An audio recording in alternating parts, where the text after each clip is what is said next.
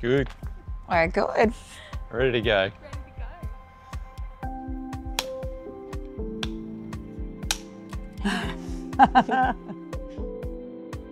I'm Ange Masson. And I'm Guy Masson. So my name's Trish Hart. I'm Taylor Kelly. Uh, I'm William Burke. It's a suburb where people do know each other, where they will wave as we drive by.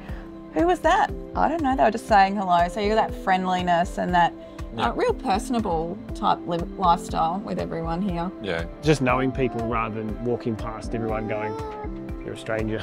we go down to the local cafe in the morning with her and then we know people there. So by the time, you know, you say hi to them and then she's friends with their dogs. So you've got to go say hi to the dogs. Really rewarding because of the fact that you have a lot of people around you who are very similar, very similar in personality a lot of the time, very similar in their goals in life and where they've come from. Uh, all hard-working people. And I think it really makes it a community because of the fact that you've got so many people around you who all want the same thing. And it is, I would say, there's both younger and older generation people here.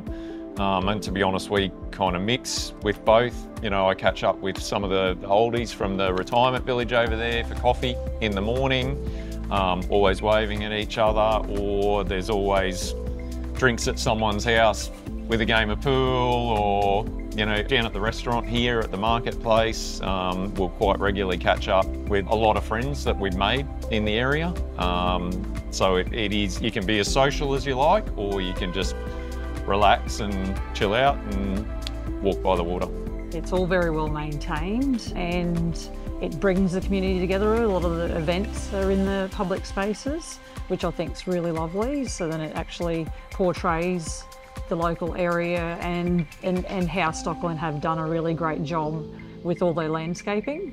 I- I'd say it's a place where you choose to live, not have to live. Uh, and I really tell that to people where I work as well, because I work in Brisbane, in the city, and I commute into the city every day. And people say, Newport, where's that? And I'm like, well, it's out Redcliffe Way, out near Scarborough. Then they talk about the dolphins, and I say, yeah, you're in the right vicinity, that's where we are.